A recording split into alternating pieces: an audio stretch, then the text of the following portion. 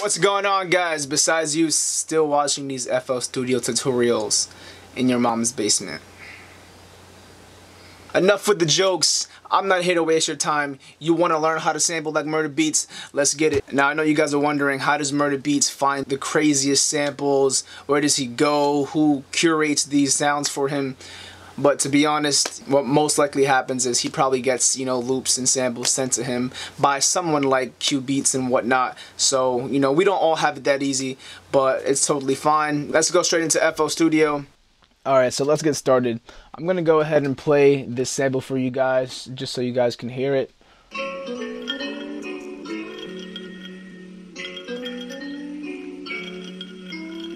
And there that is, very Cubeatz-esque you know, very uh honestly, I don't even know how to describe his sound. Kind of quirky, little weird and whatnot.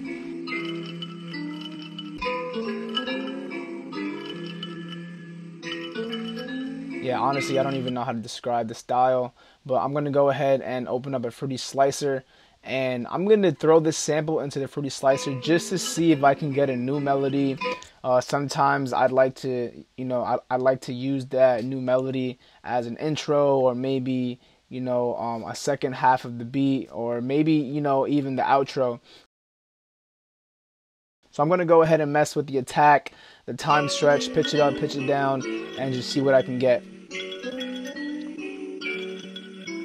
One of my favorite things to do is I like to mess with the time stretch and kind of bump it up to around the 200 range. I feel like it gives a very uh, unique kind of warped, slowed down feeling. So.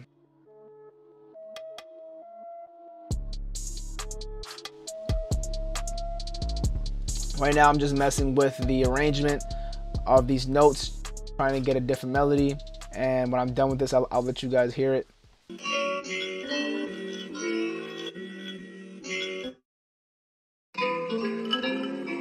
Alright, so I liked it, but I didn't like it as much as the original sample, so I'm probably to use that for like an intro or something. Alright, so right now let's uh, open up a parametric EQ, do some EQing. You don't want those low end frequencies clashing with your 808s. Let's take some high end out. I'm gonna do a quick frequency sweep just to knock down any, you know, annoying, bad, you know, ringy frequencies.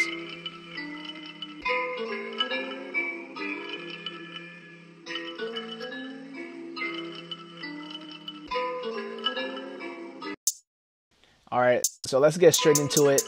Let's throw a two-step hi-hat just to get the beat moving. Alright, that hi-hat's a little loud, so I'm gonna knock that down. Do some more EQing here. Put the volume of this hi-hat a little down and I'm gonna raise some EQ just to get that hi-hat to kind of pierce through the mix. Same thing with the clap. Make sure that clap is slapping but not too loud. Same kind of EQ on the clap. You want the clap kind of cutting through the mix.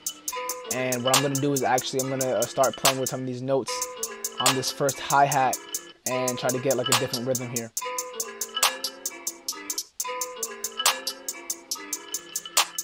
All right, so now that I'm, I'm starting to get some bounce in here, um, I'm to I'm gonna go ahead and copy this over and maybe add like a different note on the second half of this.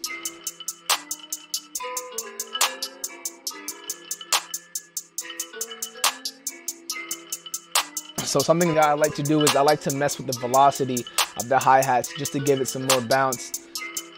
Sometimes, you know, every uh, every other hi-hat, I will knock down the velocity just a bit just to kind of humanize it a little more. And so another quick tip is I like to take the hi-hat that I was using, clone it, and actually take the time stretch and kind of slow down the sample.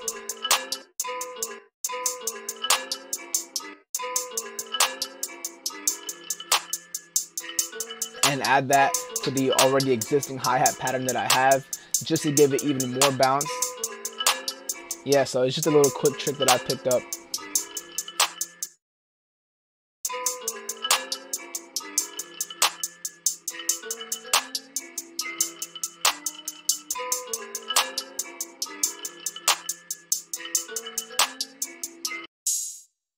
All right, so let's go ahead and add uh, some open hats.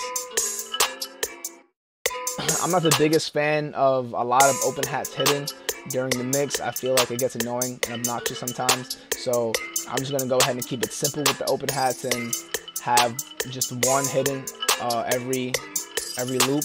And I'm actually gonna throw in a different open hat to kind of complement that first one. Let's knock that pitch down 200 cents.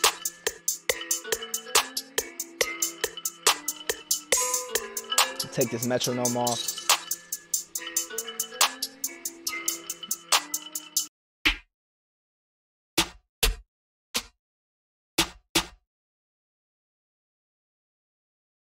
All right, so now we're gonna add a snare just to get some more rhythm going. So I have a snare and a perk going at the same time. Uh, very, very simple, nothing too crazy. All right, let's get that first perk out of there.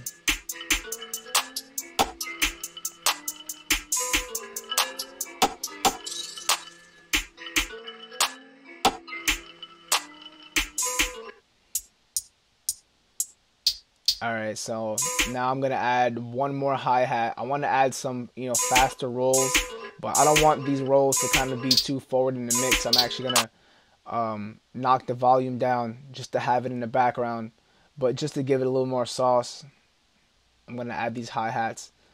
Uh, it took me a while to kind of get the kind of bounce and rhythm that I wanted with these, but I finally got them.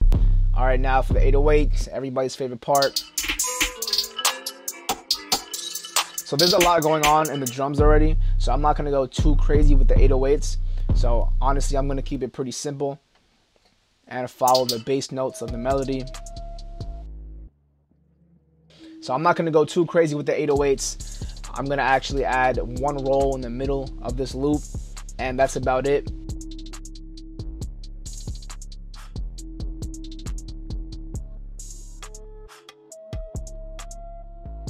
I'm over here just playing with some of the notes, just trying to get this rhythm right.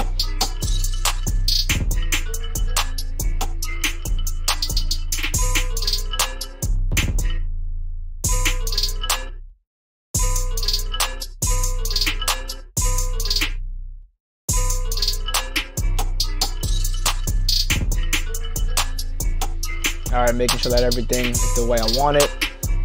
These levels are the way I want them. All right, so now it's time to add a kick. And like I said, there's a lot going on with the drums, with the hi-hats, with the perks and the snares. So with the 808s and the kick, honestly, I'm not gonna do too much. I'm gonna have this kick follow the 808 pretty much, just to give it some more punch. And that'll be pretty much it. Like I said, if there's a bunch of things going on at the same time, it'll be kind of hard for a rapper or an artist to get on. And that's pretty much it. Murda Beatz usually takes a sample, chops it up, pitches it up, pitches it down, time stretches it, and throws his fire ass, you know, drums on it. And, you know, nothing crazy, but sound selection is a huge part. And obviously your drums. If your drums aren't knocking, if your drums aren't slapping, if your drums aren't really moving the beat forward, then it's not gonna work. So right now in the comment section, if you guys see this, tell me what is your favorite Murda Beatz instrumental let me know right now. Like, comment, subscribe, dislike, don't comment, don't subscribe. Like I said, doesn't matter. I mean, it really does. But I can't control that. So I'm going to go ahead and do some arranging, and I'll see you guys next time.